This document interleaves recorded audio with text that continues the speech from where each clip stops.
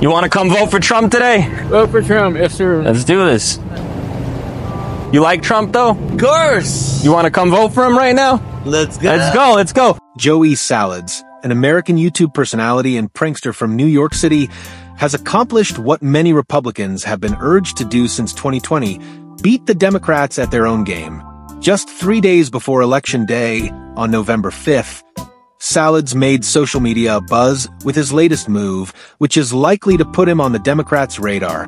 In a video titled Taking Homeless People to Vote Trump, Salads provided direct support to Republican frontrunner Donald Trump by organizing transportation for homeless individuals, arguably the group most affected by the failed policies of the Biden-Harris administration. Over the past four years, this demographic has been overlooked as the Democratic leadership focused on catering to illegal immigrants and funding global wars.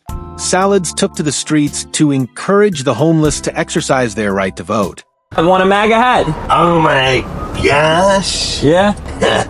Dude. Nice. You want to vote for Trump today? Sure. Today. Sir, what are your what are your thoughts on Trump? Uh, I like, Love him, but not that. yeah, I voted.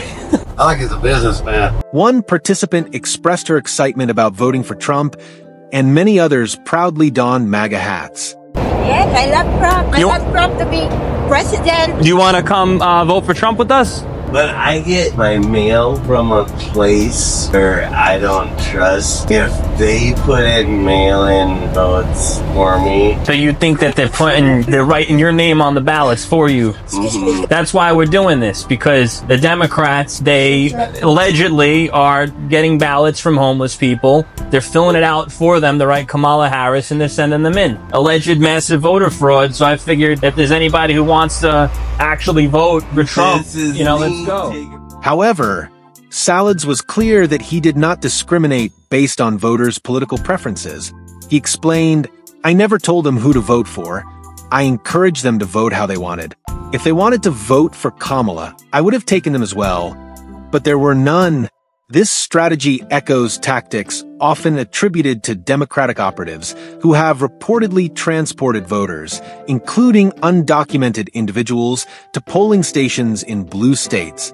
No, they had these people. They, they had about twelve of them walked in. They were all foreigners, and then they took them up. They these younger people helped them to fill out. They, they say vote PA today. Yep. And then Vote they took today, them up, PA, yeah. and somehow they beat a two-hour line. And then they walked up, and the one lady they were even asking her, they're like, "We don't have you in the system." Your name's not right. And they're like, oh, well, we'll take it back and change it. Yeah. How do you change your damn name? Exactly. Yeah. Well, thank you. What kind of shenanigans did I just see? On my way home from work today, I had two bus loads of charter buses of people turn in front of me and go down the road towards the election spot. I videotaped it. It's probably poor quality. I tried. Um, I have no idea. There's only a school down that street and the library for voting. Where are they coming from and what are they about? I turned around, I went back, and I tried to find them. They weren't in the library section, but they were back in the school section. This is at 5 o'clock at night. The school is let out already. It's not that far from it, but I think on that second video that you'll see, that if you look back in the back, you'll see the charter buses. What are they? It's a Monday. This is crazy. Reports now suggest that Elon Musk's PAC, America, may employ similar efforts to bus Pennsylvania Republicans to the polls on Tuesday, mirroring the approach taken by Pennsylvania Democrats for John Fetterman in 2022. Well, we're going to vote for Trump today. Do you want to come with us? We're all wearing a hat. Why not? We're going to vote for Trump right now. If you want to come with us, You have to be a registered voter? Or? you have an ID, Yeah. so you can you can register on the spot. Hey, back to So tell me why you like Trump. What do you like about him? He's force. He's a uh, millionaire. He's a billionaire. He's going to be in a new golden era. That makes sense to me. Taking care of the people who want to vote. So it's right over there. I'll be waiting here. Thank you.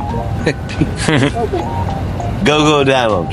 And thank you for Yeah, no problem. What are you guys up to? So we're driving people around. Whoever wants to vote, So where'd Panisi go?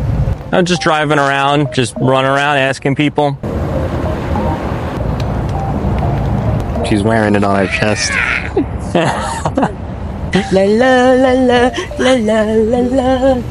This is my first time going coming to an election. Oh wow, Yes. Nice. So I needed to learn the process. I'm honored to to help facilitate this. Thank you. Thank you. But he lowered the gas prices, and he um, he looked like he was really a force for other countries to be worried about, placing a stance on America being a strong foundation in this world. I'm not worried about the taxes. I'm, I'm worried about us, our country not making it, and other countries maybe thinking they can get a foot in. Fight, fight, fight!